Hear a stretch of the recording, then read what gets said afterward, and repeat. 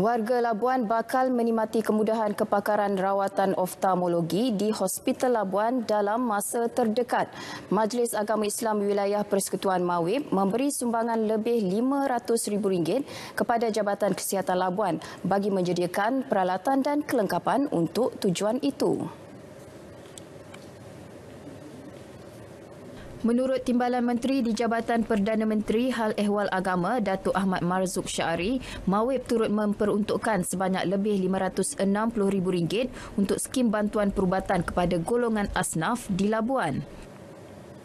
Bantuan ini adalah rupa bentuk keperluan yang uh, sangat kritikal uh, kepada uh, hospital sendiri dan juga kepada pesakit-pesakit kronik dan juga pesakit-pesakit yang terlantar dan maksimum uh, bantuan yang kita berikan kebiasaan kepada pesakit mencecah angka hampir 1500 sebulan pesakit-pesakit yang koma dan sebagainya.